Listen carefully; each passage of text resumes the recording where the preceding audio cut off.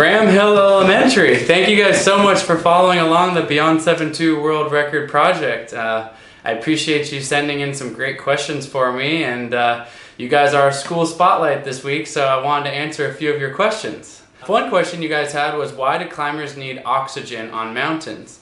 And the reason that is, is as we get higher and higher altitude, there's actually less oxygen that our bodies can absorb and breathe in. And so it gets harder and harder and harder to breathe. So on some mountains, if you go up slowly, your body can adjust. It's called acclimatizing. And eventually you're able to breathe better even when there's thin air. Uh, however, on a mountain like Everest, Everest is so tall, 29,000 feet, that that's about the same height that an airplane flies at. And so all the way up there, there's so little oxygen that it's really hard to breathe, even if your body is very prepared and ready. And so oftentimes climbers, including myself when I get to Everest, bring with them supplemental oxygen, almost like if you've seen a scuba diver wearing an oxygen mask, doing that to help them breathe better up high. Did I see any penguins? Unfortunately, I was just in Antarctica where there are tons of penguins, but all of the penguins are on the coast. Uh, and so I was going to the South Pole, which is in the middle of the continent. So inland, uh, there are no penguins because the penguins need to be near water to, uh, to feed and stuff like that. I am aiming to break a world record uh, with this project, so hopefully, if I'm successful, I will be in the world record book.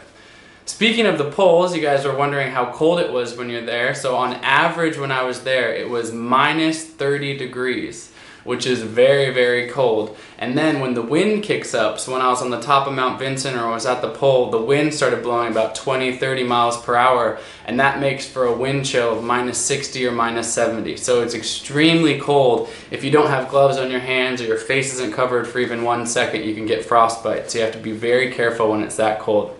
When did I start climbing mountains? Well, I started climbing mountains uh, when I was pretty young. So growing up uh, around Portland, Oregon, uh, my parents always took me camping and hiking and just climbing little mountains. And then eventually, as I got a little bit older and I was a teenager, uh, I was able to climb some of the, the bigger mountains in the area, South Sister and Three Finger Jack and Mount Hood, some of the bigger mountains in the Cascades. And then from there, my passion just grew. So I've every chance I've gotten, either inside the United States or when I've been traveling, I've been trying to climb mountains. But it all started when I was a young kid.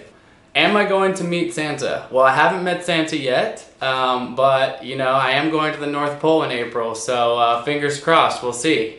Um, is there a message you want me to take you there for him? Um, last question you guys had, one of the last questions was, am I scared of falling? So, of course, up on mountains, it's all, you know, you can slip, you can fall, but we take as many safety measures as possible uh, to make sure that doesn't happen, including oftentimes I'm carrying a rope with me or I'm tied to the mountain to secure me. So even if I do slip and fall, the rope will catch me to make sure that I don't get hurt. Thank you guys so much for your questions. Uh, lastly, I'm uh, halfway through the project right now. So there was actually five uh, mountains that I've climbed so far, one of the poles and four mountains actually, so five expeditions, and uh, I've got five more remaining. So by the numbers, I'm halfway done.